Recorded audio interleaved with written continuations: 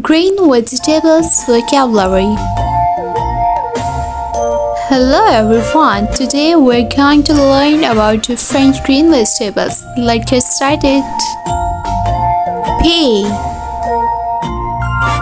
Coriander Broccoli Spinach Cabbage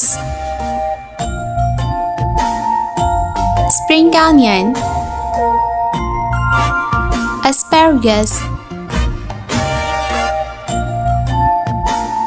Ridge gourd Bitter gourd Chayote. Green lemon Celery Green pumpkin. Kohlrabi Zucchini.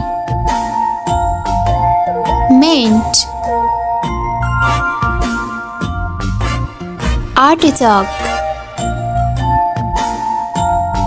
White corn Green chili.